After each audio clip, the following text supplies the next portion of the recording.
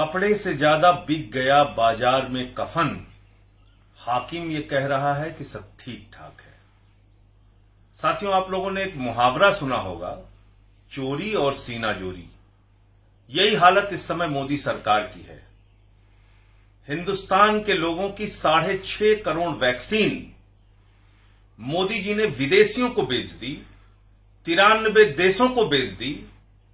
देश के लोग वैक्सीन लगाने के लिए लंबी लंबी कतारों में खड़े हैं, घंटों इंतज़ार करने के बाद केंद्र बंद किए जा रहे हैं। रजिस्ट्रेशन के नाम पर ऑनलाइन व्यवस्था है और आम आदमी अपना रजिस्ट्रेशन नहीं करा पा रहा है। और इस वैक्सीन के संकट के खिलाफ अगर लोगों ने पोस्टर लगाकर विरोध दर्ज करा दिया तो उनको गिरफ़्तार किया जा रहा ऑटो वालों ने सिर्फ़ ये लिख दिया कि भाई, मोदी जी आपने हमारे बच्चों की वैक्सीन विदेशियों को क्यों दे दी? इस पर उनको गिरफ़्तार कर लिया गया। दिहाड़ी मजदूरों ने अगर पोस्टर लगा दिया तो उनको गिरफ़्तार कर लिया गया। ये किस प्रकार की तानाशाही है?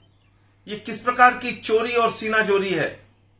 आप हिंदुस्तान के लोगों की साढ़े छह करोड़ वैक्सीन विदेशियों को बेच दे, वो गुनाह नहीं, वो गलती नहीं, वो अपराध नहीं। लेकिन अगर उसके खिलाफ कोई पोस्टर लगा के अपना विरोध दर्ज कराता है तो उसको आप उठाकर अंदर कर देंगे, उसको जेल में डाल देंगे।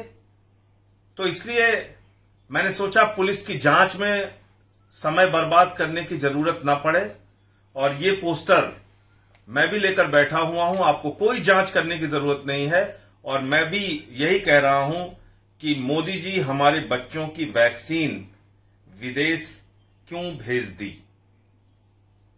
अब अगर ये कहना और ये लिखना गुनाह है तो आप तत्काल हम लोगों को गिरफ़्तार करके जेल में डाल दीजिए।